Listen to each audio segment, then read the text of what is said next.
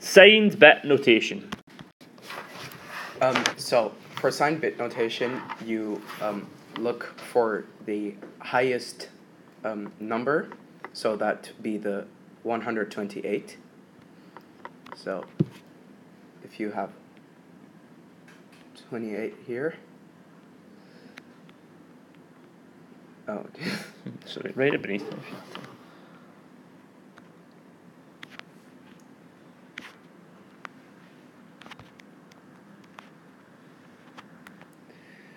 If this first number over here is a zero, it, it means that the entire number will be positive, which in this case is um, what's happening. And if the number would be a one, the entire number would be a negative number. So now that we know it's a positive number, we just add 64 plus 32 plus 8 plus 4, which is um, 108 positive. In this case, th- because there is a 1 at the beginning, this means that the number is negative. You ignore this number as it only means the number is negative. So you have 1 to 8, 64, 32, 16.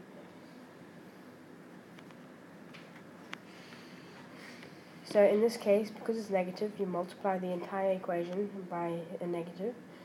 So then you add 64, 4, and 2. This gives you 70. So, and because it's negative, you get negative 70.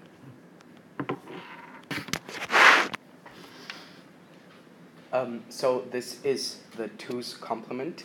No. Oh, it's still signed bit. So um, as the first number again is negative, um, we just write negative, and here, here we still have the 64, 32, 16, 8, 4, 2, and 1. But as there is nothing to add, this number will be negative 0. Uh, because there are no numbers filled in and the first number is 0, it, this means that the number is positive. This demonstrates the I- issue with uh, signed bit, as it has a representation for negative 0 and positive 0. So this would give you positive 0. This wastes space on the computer's hard drive for an unneeded representation.